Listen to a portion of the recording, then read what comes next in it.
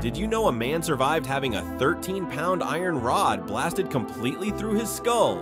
On September 13, 1848, Phineas Gage was working as a railroad foreman in Vermont, using gunpowder to blast rock for the railway. It was routine work until something went terribly wrong. The gunpowder exploded prematurely, launching his tamping iron like a missile. The rod shot through his left cheek, behind his eye, and out the top of his head. It landed 80 feet away, covered in blood and brain matter. Impossibly, Gage remained conscious. He walked to the medical cart and sat upright, calmly describing his injury to horrified witnesses. But surviving was only the beginning of his nightmare. The responsible, well-liked foreman completely changed. He became profane, impulsive, and cruel. His friends said Gage was no longer Gage. This single accident revolutionized neuroscience, proving that specific brain regions control personality. One man's horror became humanity's breakthrough in understanding the mind.